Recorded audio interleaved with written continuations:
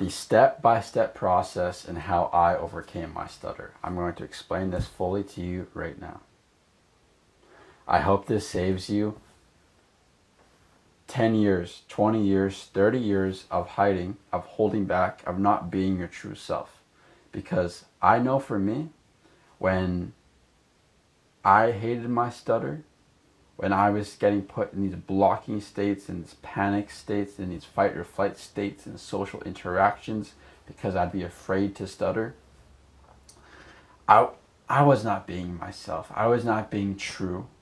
I was being a fake, fake version of myself, and that's why stuttering hurt. It wasn't because of the stutter itself, but the fakeness that I created around who I truly was. I would agree with things because it would cause the least amount of ripples. I would try to avoid judgment from anybody. I would speak to get approval, speak speak to please people, speak to prove myself rather than just trusting myself and being myself. And this is the biggest lesson I learned in overcoming my stutter is overcoming my stutter was all about trusting myself again, trusting that I'm enough, no matter how I speak. This was the biggest, biggest, biggest thing. Um, before I get it, before I get into this, I just want to say I do have a program that helps people overcome stuttering in 10 weeks, guaranteed or money back. You can find that down below in the description.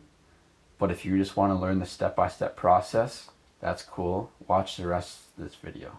So like I said, the, the thing that I had to realize in order to actually overcome it, I guess we should clarify what overcoming it means because I still stutter. But maybe 0.5% of what I used to stutter with, what the the the the severity, but I don't even view even even if I stuttered the same amount, I would still say I overcame my stutter simply because it does not hold me back anymore. I've changed my relationship with it where I'm able to stutter now and it does not arise fear, doubt, or anxiety. I'm able to, to just be myself, even if I stutter, because I still do stutter. It does not make me clench, it does not make me hot, it does not make me please or prove or do anything that the stutter used to. And it's all because of the relationship I had with it. I viewed it as unacceptable before. It was my whole life's mission to not stutter, to not show it to anybody. And that was fucking exhausting. That was so exhausting. And back when I hated my stutter every single day on YouTube, I would search up how to overcome stuttering most likely what you're doing now too. And I would learn these techniques to signal to sing when you speak or these breathing techniques. But I knew I didn't need that. For one, every time I try to use this technique, I'd get more in my head and my speaking would become more mechanical, which would make me stutter more, and it never really helped.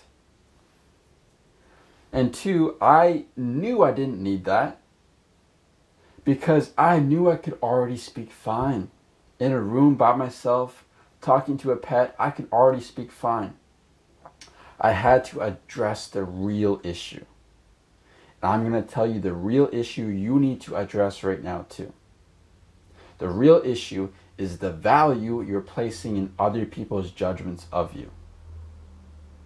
This is what dictates the severity of your stutter among who you speak to the people who you're seeking the most from, you're going to stutter the most around. You don't stutter in front of a dog. Why? The dog can't judge you. If you stutter in front of the dog, he's not going to be like, I'm not your friend anymore. You're weird.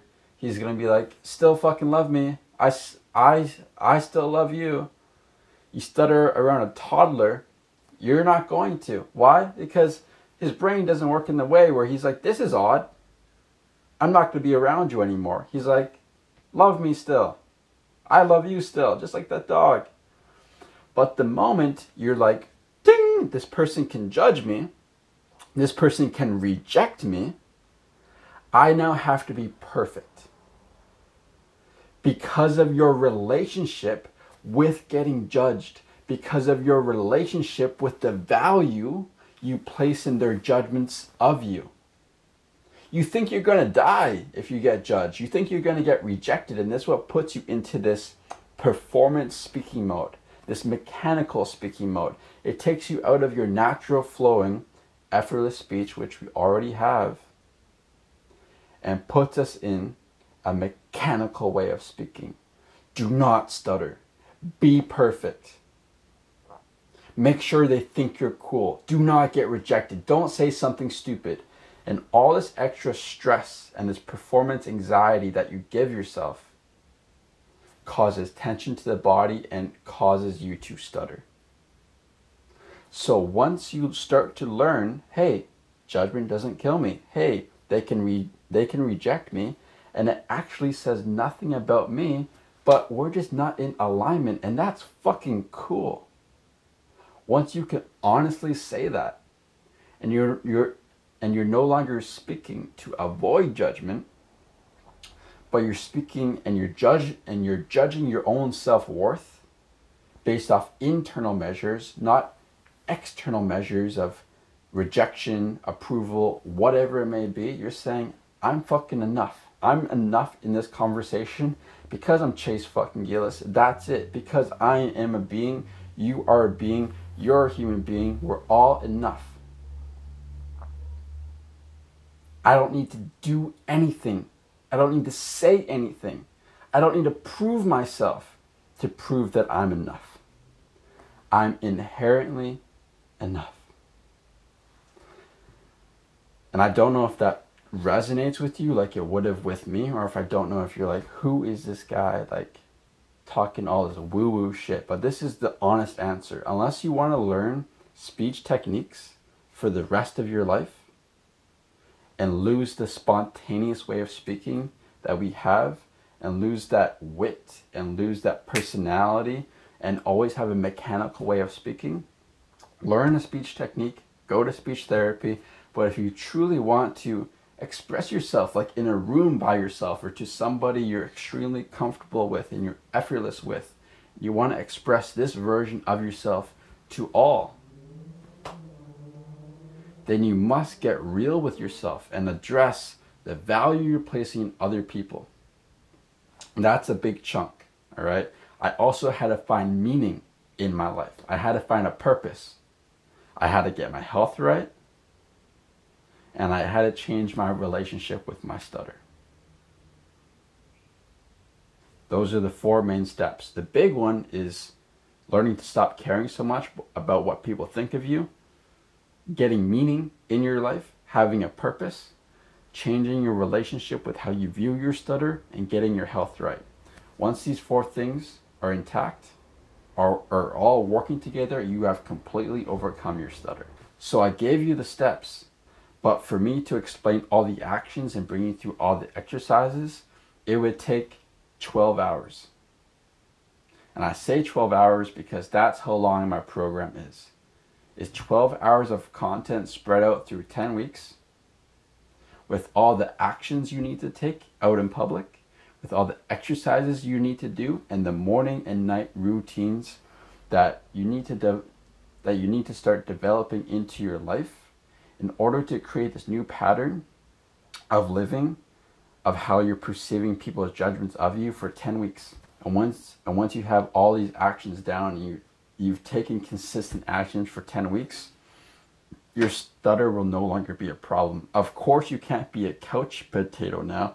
It's not like you do this for 10 weeks and now you can just chill and play games again and lay back. No, you, you, I'm still on my purpose. I'm still not giving a fuck about what people think because I'm living on my edge, because I'm asking girls out when I think they're cute because I'm push because I'm pushing myself.